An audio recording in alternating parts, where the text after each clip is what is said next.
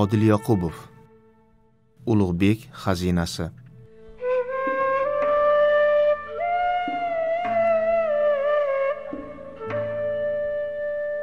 Qalandar esiga yomon bir narsa tushganday irg'ib o'rnidan turdi.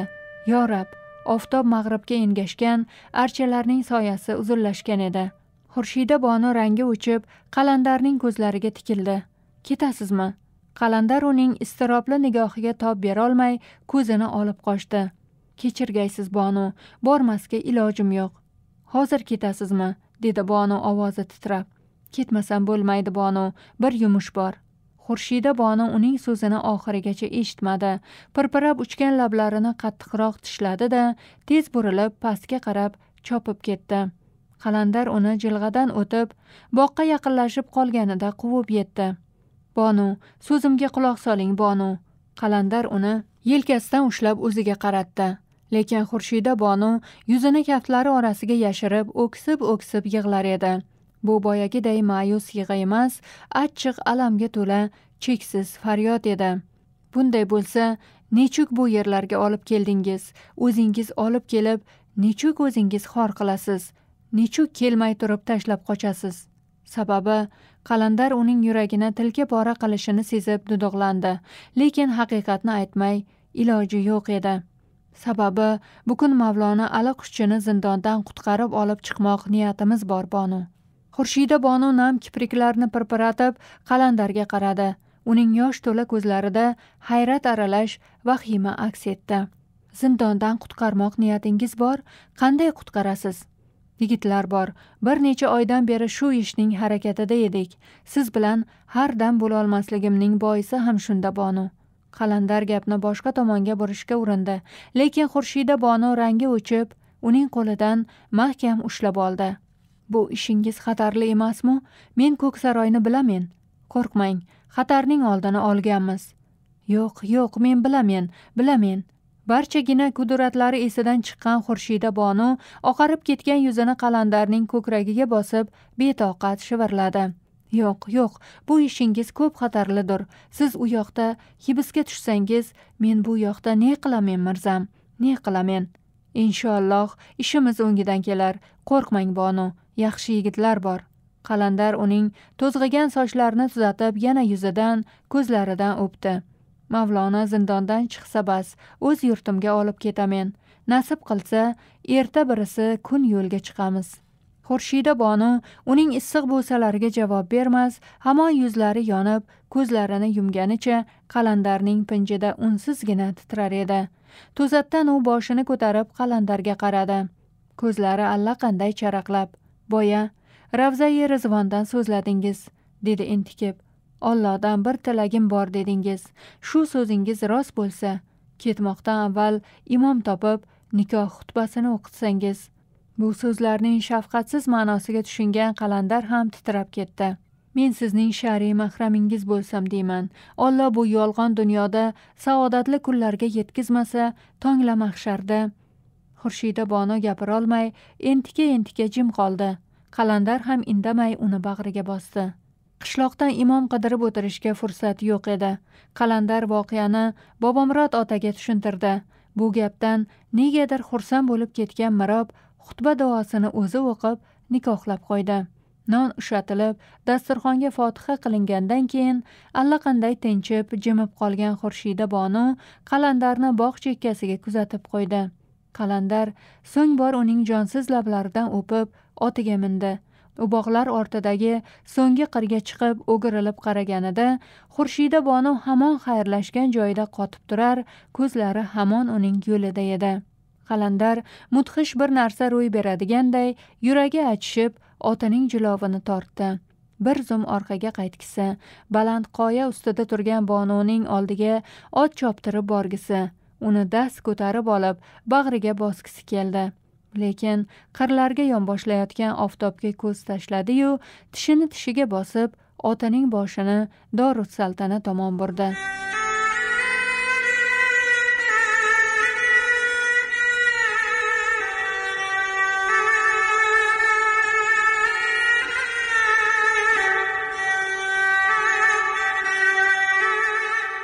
Ko'ksaroydan chopar kelganda amir sulton jondorning chorxara mehmonxonasiga besh olti amirlar yig'ilgan. Ular shahar dorig'asi mironshoh bilan shayxulislom burxoniddin janoblarini kutishib suhbatlashib o'tirishar edi.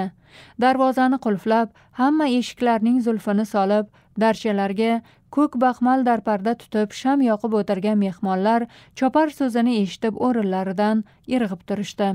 Oq shoyi ko'ylak ustidan banoras to'n kiyib mehmonlarga o'zi xizmat qilib yurgan amir sulton jondor turgan joyida serrayib qoldi. Yolg'iz mirzo ulug'bekning suyukli navkari bobo husayn bahodir hushini yo'qotmay darhol shamdondagi yolg'iz shamni puflab o'chirdi. Keyin qorong'ida amir jondorning yoniga kelib mehmonxonaga tashidan qulf soldiring dedi. Amirona ohangda. O'zingiz boshqa uyga chiqib to'shak yozib yotib oling. To'shak yozib yotganingizni choparlar ko'rsin. Amir jondor darhol sergaklandi. U mehmonxonaning eshigiga otning kallasiday qul soldirib o'zi boshqa xonaga chiqib peshonasini tang'ib yotib oldi.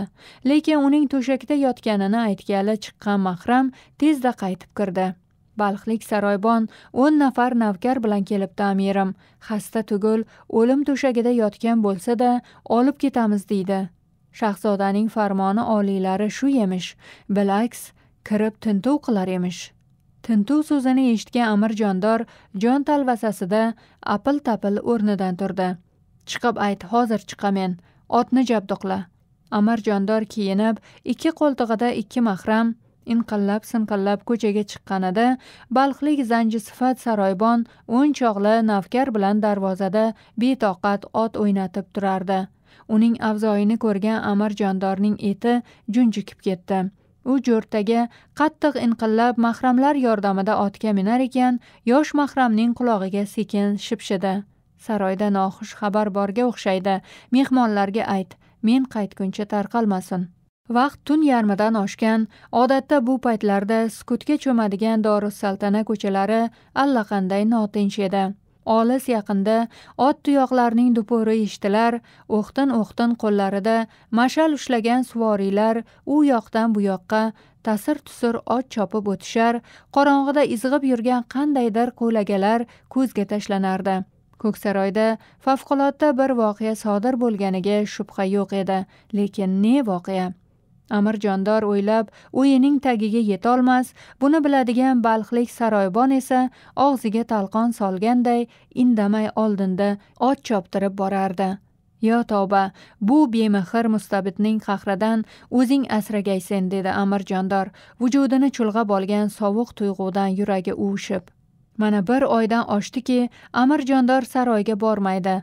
Mavlono muhiddinning ojizasi xurshida boni bir tunda dom daraksiz gumdon bo'lgandan beri mirzo abdullatovning ko'ziga tushishdan qo'rqib ko'rpa to'shak qilib yotib oldi.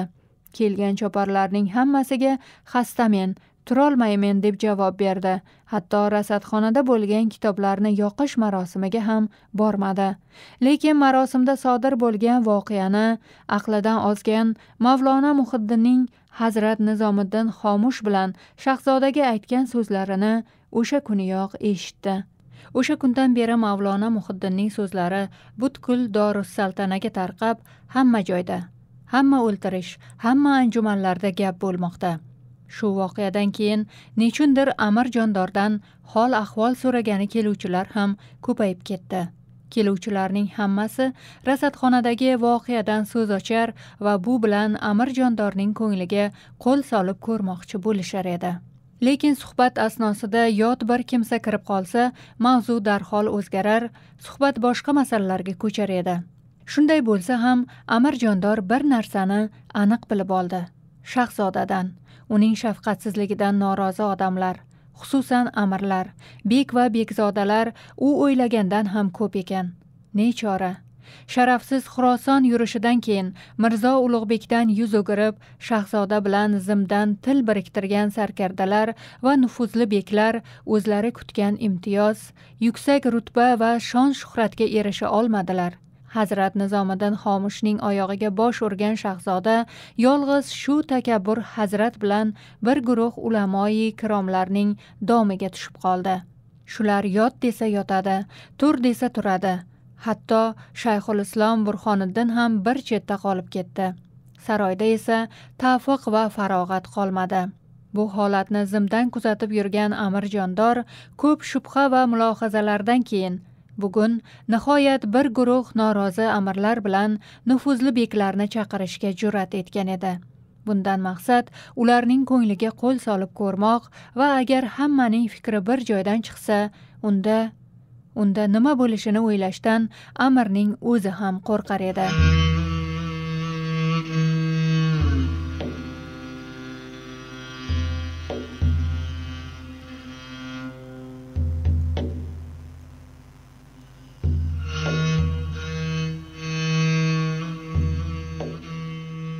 Yo daraxt. Nahot bu diyonatsiz padarkush uning muddaosidan xabar topgan bo'lsa xabardor bo'lsa bas amirning boshi ketishi muqarrar. Yo rab yomg'irdan qochib do'lga tutildim degani shudir.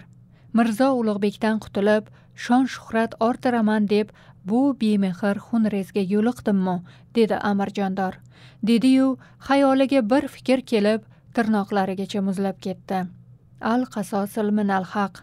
Bu savdo va nadomatlar a'lo hazratlarining begunoh kesilgan boshi to'kilgan qoni uchun qaytgan bir jazo emasmi?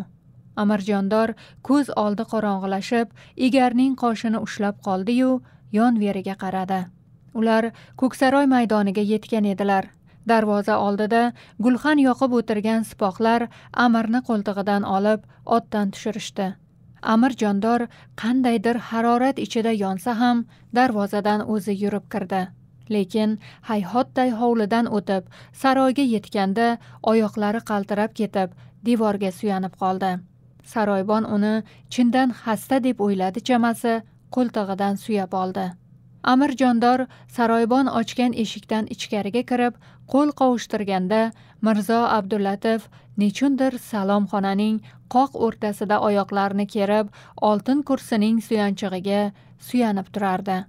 Amir jondor ikki bukilib ta'zim qilar ekan bir daqiqagina uning chehrasiga ko'zi tushdi. Lekin shu bir daqiqaning o'zidayoq mudhish bir narsa ro'y berganini sezib yana tirnoqlarigacha muzlab ketdi. Shahzodaning usiz ham ozg'in zaxil yuzi qovog'ining ostlari ko'karib ketgan tikonday qadalgan ko'zlarida ham qo'rquv ham allaqanday sovuq yiltillagan muz shu'lasi bor. Lekin eng dahshatlisi xuddi jigari shahzoda abdulazizday boshini sarak sarak qilish odatini chiqargan edi. Amirjondor shahzodaga qarashga jur'at etmasa ham uning gilamni tovushsizgina bosib yoniga kelganini va qandaydir vishillab nafas olganini eshitdi. Xo'sh amirjondor abu said mirzo qayda? Abu said mirzo amirjondor qo'rqibgina boshini ko'tardiyu darhol yerga qaradi. Mirzo abdullatovning ichiga botgan telba ko'zlarida murdaday qonsiz yuzida boshini sarak sarak qilishida zotan butun vajohatida ayovsiz bir narsa bor edi. Nechun indamaysen? Abu said mirzo qaydadir abu abu said mirzo zindondadir davlatpanoh. Zindonda bo'lsa top. Mirzo abdullatif amirni yoqasidan ushlab qattiq silkidi. Zindonda bo'lsa darhol topib kelgaysen. Darhol amir jondorning miyasida qochibdi degan fikr chaqmoqday chaqnadi. Shahzoda abu said mirzo qochibdi. Zindonda bo'lsa nechun titraysen? Bor kishallab olib kel ul mal'unni vali ne'mat pushti panohim. O'limdan xabarim bor va lekin abu said mirzodan xabarim yo'qdir. Bir oy bo'ldi. Uyda to'shak yozib yotganmen og'ir xastamen davlatpanoh. Xasta dedi mirzo abdullatov hansirab. To'ng'izday semirib ketibsen tag'in xastamen deb zorlanasen bilamen sen battol to'shakda yotib menga qarshi o'rgimchakday to'r to'qiysan yo rab bu telba ne deydi? Valiylikmi yo tusmollab so'zlaydimi? So'zla azozil. Abu said mirzo bilan til biriktirdingmi yo'qmi? Billohi azim. Billohi azim bo'lsa ul g'alamiz mirzoni darhol bandi qilib olib kelasen. Olib kelib oyog'im ostiga tashlaysen. Tashlaymen vali ne'mat tashlaymen. Shu bukun. Inshaalloh oftobi olam. Mirzo abdullatov amirning yoqasini qo'yib yubordi. Vishillab nafas olganicha gandiraklab borib o'zini taxtga tashladi.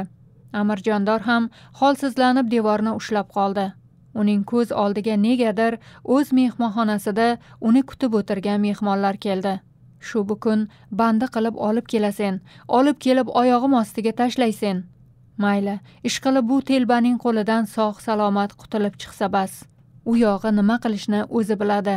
Na yaxshilik va na yomonlikni bilgan bunday telbaga xizmat qilmoq o'ta ketgan nodonlikdir. Amirjondor cho'chib ko'zini ochdi. Taxtda yalpayib o'tirgan mirzo abdulatif tilla shaqildog'ini betoqat shaqillatar edi. Eshik ohista ochilib boshiga surmarang salla o'ragan balxlik saroybon kirdi. Amir sulton jondor tarxonga saroy yasovullaridan o'n nafarini berasen. Amir janoblari shu bukun ul iblisi layin abu said mirzoni tutib bandi qilib olib keladur. Shahzoda amir jondorga chiqaver deb bosh irg'adi da saroybonni imladi. Bu kazzob amirning orqasidan ayg'oqchi qo'y ehtiyot bo'l ilonning yog'ini yalagan bu tulki abu said mirzoga qo'shilib qochib ketmasin. Boshing ketadi uqdingmi uqdim davlatpanoh. To'xta. Mirzo abdulatif eshikka yo'nalgan saroybonni to'xtatdiyu nechundir xayoli faromush bo'lib bir nuqtaga tikilib qoldi. Ha zindon begiga amr qil. Hibsda yotgan mavlona alaqushchini keltirsin.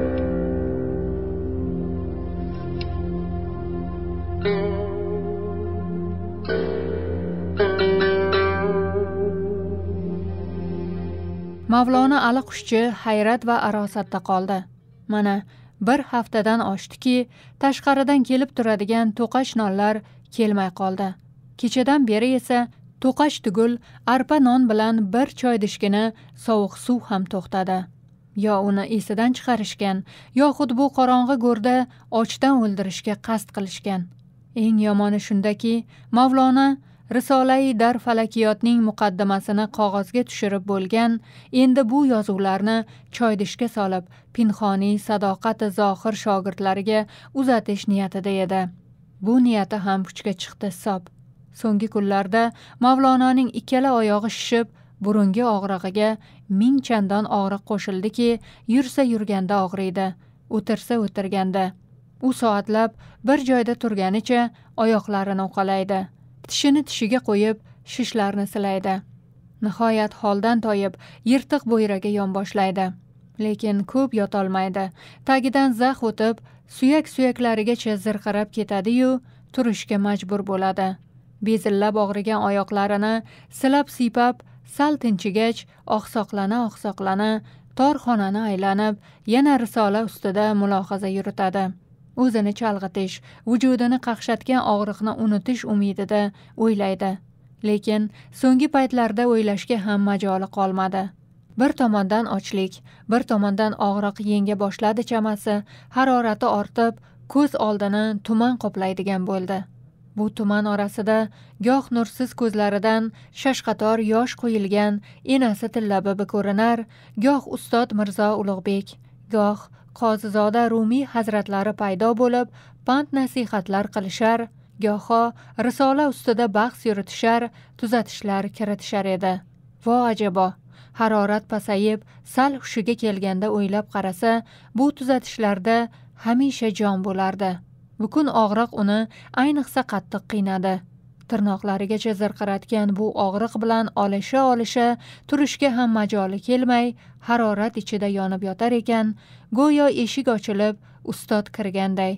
Go'yo tepasiga kelib senga ne bo'ldi o'g'lim ali? deb so'raganday tuyuldi. Ne qilay ustod? dedi aliqushchi xayolan yoniga cho'nqaygan ustodga murojaat qilib. Xastalik yengdi. Attang bu og'ir yumushni yuklab senga zavol qilib men o'g'lim. O'rningdan tur shahzodaning oyog'iga yiqil. Boshqa chora yo'qdir ali yo'q ustod. Sizning vasiyatingizni tark etib sir asrorni ochgandan ko'ra bu sovuq go'rda o'lganim a'lodir. Tongla mashharda qay yuz bilan sizning yuzingizga qaraymen. Ustod uning so'ziga quloq solmay qo'ltig'idan ko'tarib o'rnidan turg'izmoqchi bo'larmish. So'ng birdan o'zgargan darg'azab ovozda tur deyman deb o'shqirarmish. seni oftobi olam mirzo abdulatif chorlaydir oftobi olam chorlaydir tushimmi bu o'ngimmi? Mavlono butun irodasini jamlab ko'zini arang ochdi.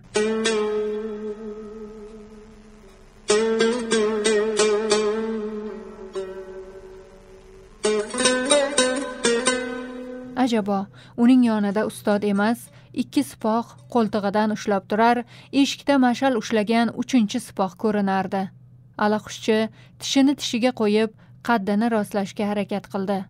Lekin rostlay olmay devorga suyandiyu suv deb pichirladi. Suv baqirdi sipohlardan biri. Suv keltir tez. Alaqushchi bir kosa suvni bir ko'tarishda sipqarib kosani qaytarib berdi. Muzday suv negadir ichini yondirib o'tganday bo'ldi. Xayoli ravshanlashib shahzoda faqirni ne qiladi dedi ichida. Maqsadi ne? Tag'in so'roqmi? Kufr kitoblarini top deb zug'um qilishmi? Allaqhushchi darmonsizlanib ko'zlarini yumdi. Shahzoda uni bu holda ko'rsa ne deydi? O'jarlik qilsang bundan ham xor bo'lasan deb xursand bo'lmasmi? Allaqhushchi hibsxonadan o'zi yurib chiqmoqchi bo'ldi. Lekin oyoqlari irodasiga bo'ysunmay qaltirab ketdiyu sipohlar uni yana suyab qolishdi. U uzundan uzoq yer osti yo'lagidan o'tib tepaga chiqquncha sipohlarga suyanib bordi. So'ng tishini tishiga qo'yib bir bir bosib o'zi yurib ketdi. Tong yaqin bo'lsa kerak. Olis yaqindan xo'rozlarning qichqirig'i eshaklarning hangrashi eshitilar lekin osmon to'la yulduzlar tiniq charaqlab turar g'ir g'ir iliq shabada ko'katlarning bahor giyohlarining muattar hidini ufurib dimoqqa gup gup urardi. Ular saroy o'rtasidagi marmar sarhovuz yoniga borganlarida allaqhushchi bir zum to'xtab osmonga charaqlab turgan yulduzlarga tikildi. Ana qoq peshonada dubba askar. Undan sal pastroqda bir hovuch qo'rday g'uj g'uj miltiragan hulkar. Gumbaz ustidagi noxit yulduzi esa xuddi artilgan olmosday yaltillaydi. Tong yaqin. Mavlona ko'zlarini yumib ko'zini mayin shabadaga tutdi. Gurkirab o'sayotgan maysalarning sal taxir va chuchuk bo'yini to'yib to'yib hidladi. Yo tavba bu ro'yi zamon. Bu hududsiz koinot qanchalar husnkor qanchalar go'zal ekan? Nechun odamlar bunday tuban bunday rahm shafqatsiz yaralgandir? Mavlono sipohlar uni holdan toydi deb o'ylashdi chamasi yana qo'ltiqlab olishdi.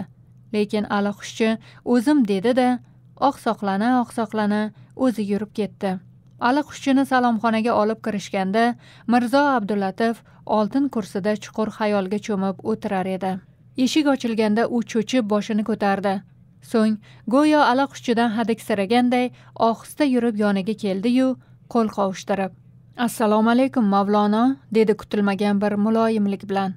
Bu riyokor padarkushga ne bo'ldi? Nechuk sertavoze bo'lib qoldi?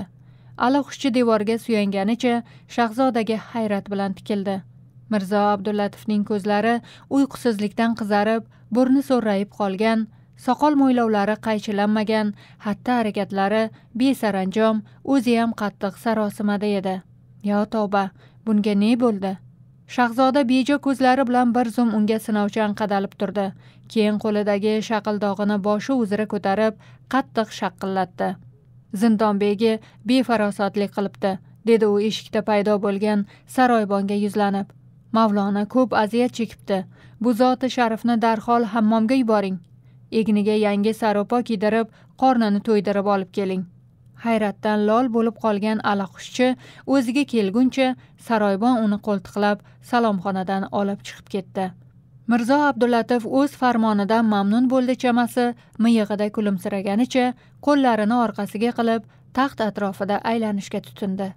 Alaqushchini chaqirtirishdan maqsad undan zoichaga qarab o'z taqdirini bilib berishini so'ramoq edi. Chunki rasadxonada sodir bo'lgan mash'um voqeadan keyin shahzoda yana eski dardga mubtalo bo'ldi. Kechalarigina emas kunduz kunlari ham yuragi o'ynaydigan ko'ziga allanimalar ko'rinadigan bo'lib qoldi. Kecha kechqurun nogaho uning qo'liga shahzoda sulton muhammadning bir nomasi tushdi. Noma shayxul islom burxoniddin janoblariga yo'llangan bo'lib unda ikki shahzoda mirzo abdullo va abu said mirzoning nomlari zikr etilgan edi. Shahzoda shayxul islom burxoniddindan ko'pdan beri hadiksirab yurar chag'ir ko'zli kibru havosi baland bu ulamo go'yo unga e'timod qilmaganday saroyga tashrif buyurmasligining o'ziyoq uning qora niyatlaridan dalolat berardi. Rost. Uzoq xurosondan yo'llangan bu noma shunday sirli iboralar bilan bitilgan ediki uning mazmunini ilg'ab olish amri mahol edi. Lekin sirli iboralar bilan bitilgan nomaning shayxul islom burxoniddinga yo'llanishining o'zi xususan unda ikki shahzodaning nomi zikr qilinishi mirzo abdullatovning ko'nglidagi eski shubhani yana bir bor ta'kidladi.